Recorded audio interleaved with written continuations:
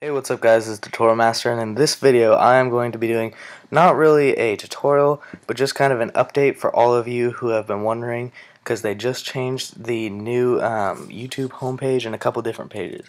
So the first thing is this ad that we have on this side. You can tell it's kind of cool, it goes down by the right side and it's connected so it's the same ad. And uh, also we're going to start by the left side. If you click on add channels right over here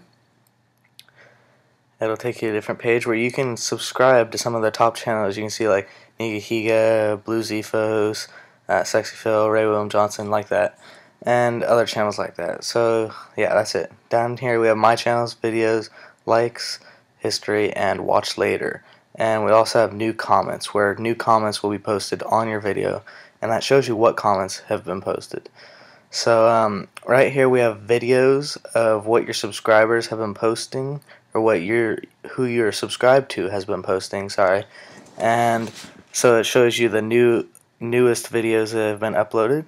And so you can see this has a different look kind of to it. And so now we'll go to my channel.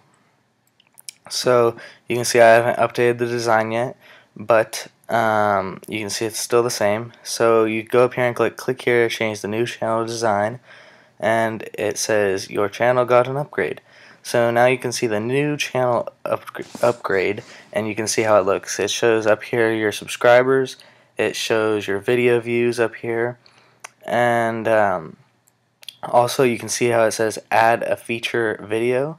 If you go ahead and click that, you can choose a video to feature. So I'll just do that one, click apply, and then it shows you on there, which is cool because in the last update they didn't have that. So you can go ahead and click videos and it'll show you all your videos you have so people can see all the ones that you have. You can also sort it from newest to oldest or however you want. Over here you can also um, make a new comment and you can see who your channel was created by and stuff like that. And it also has all your other videos right in the middle. And your new featured channels box is right there instead of being in the middle. And um, yeah, so that's pretty much it. And there's also a new look to the upload page and you can see just a new little button and stuff like that just little stuff like that. And also a new um, my videos page. You can see you have all your stuff on the side now. And you can also see your videos. Not too much different but just a new look.